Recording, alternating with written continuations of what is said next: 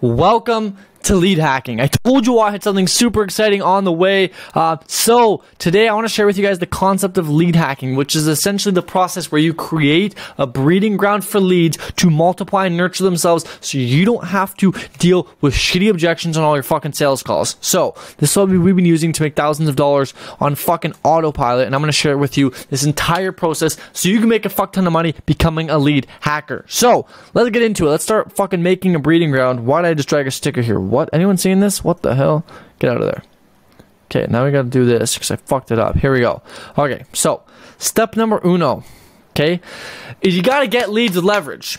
The biggest part about lead hacking is we're hacking. Okay, we're, we're, we're literally hacking. Not actually, but you fucking get the point. We're hacking. And so one of the things we're gonna hack is our time. One of the worst things you can do is sit there for 100 hours a month and scrape shitty leads that half them never fucking talk to, the other half tell you to fuck off. So automate your lead process. Don't fucking take 800 hours scraping shitty prospects. Uh, website, try it in the description, free trial. Um, go use this. Okay, it's good. It's the best one. Now. Let's move on to step number two after you got leads, okay? Because you can't be sitting there fucking around with your dick in your hand getting leads for the next seven days straight, okay? Get that done and sorted. You gotta leverage your time. Like one of the biggest things about lead hacking is making compounding and automated leverage acquisition systems so you don't have to spend all your time sitting in your chair. You can be out on a beach making a fuck ton of money. That's what lead hacking allows you to do. Now, step number two is you got to get attention. Okay, you have to get in front of people. You have to get the attention of individuals. Now, you can do this through a variety of different ways, but for the ways we're going to talk about for this concept uh, is cold calling, you know, text messages, DMs on Instagram, Facebook, uh, LinkedIn, etc., uh, cold email, stuff like that. Okay, you got to get attention in some way, shape, or form. You got you got to get yourself in front of people. Otherwise, this doesn't work. You need to get people. You need to get in front of those people. Okay, capiche, capiche. Potato, potato, tomato, tomato.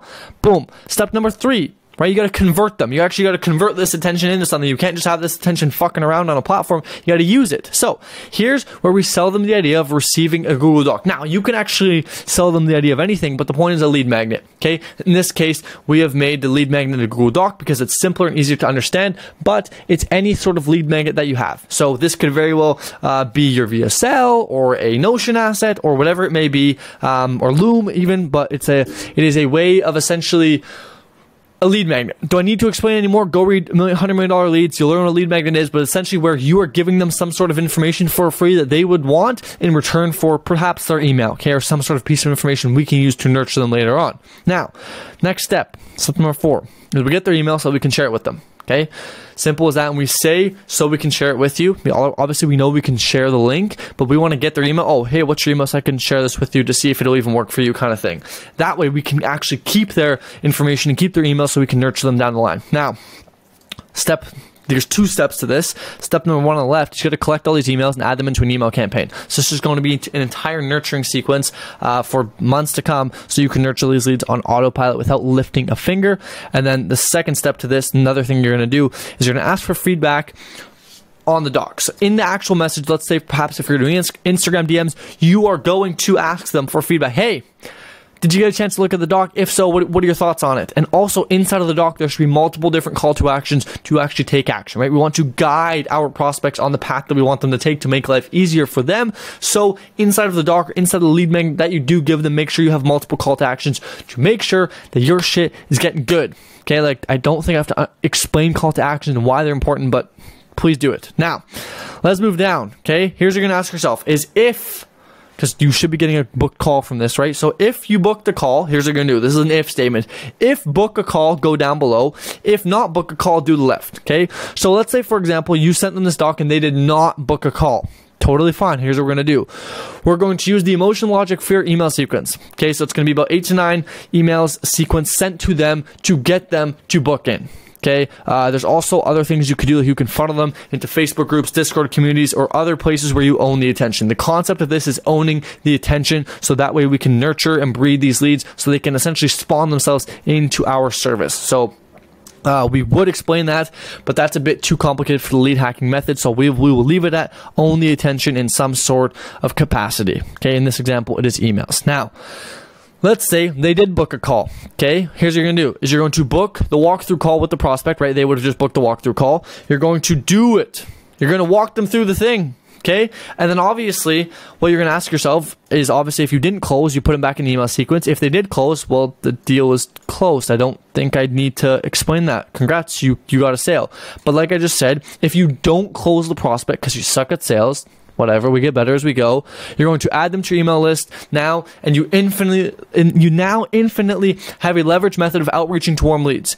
Because all these people agreed to getting your doc in the first place. And so now forever you are not fucking around wasting your leads. See like here's where people go wrong is after the call it's done. Or after people don't book a call it's done right? Those leads are gone.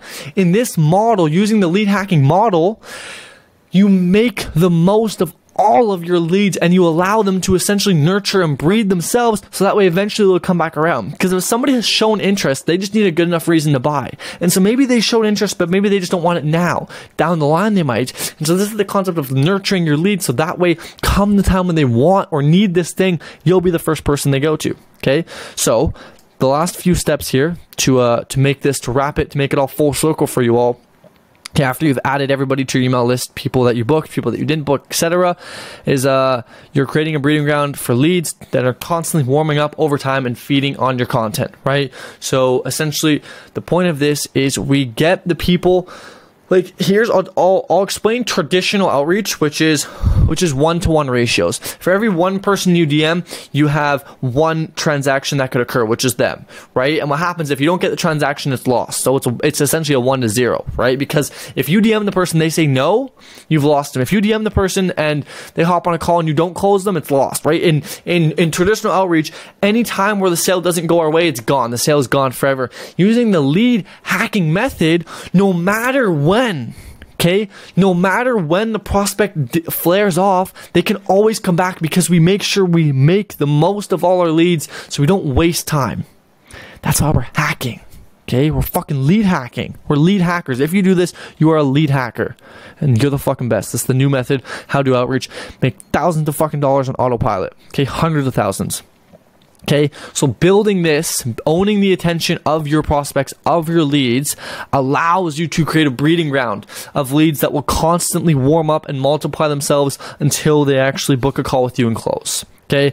And then after this, obviously you get inbound leads and making the sale is even a million times easier. Because if you know, if you know something, if you've been around this game long enough, you understand that referrals and inbound leads are the easiest people to close because they know, like, and trust you. Okay. They meet the three requirements of the triangle, which is know, like, and trust.